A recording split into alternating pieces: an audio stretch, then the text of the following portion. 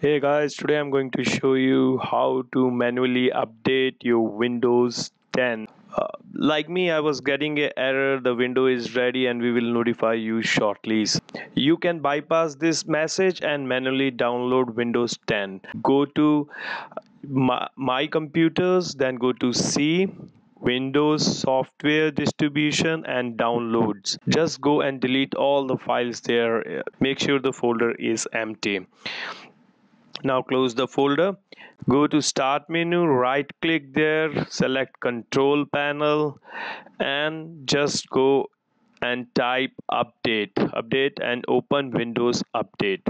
When you open window update you'll find there's no update for your window. We will bypass this. To do that just go in search and type cmd and right click on it and run it as administrator. When you run it as administrator you'll get this screen. Just copy and paste this command. This is in the description. And press enter. Now you'll see your window 10 is getting downloaded.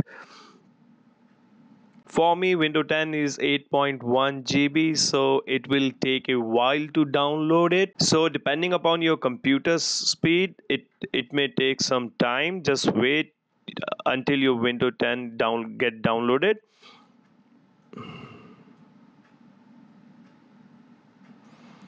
and it will start installing once it get downloaded.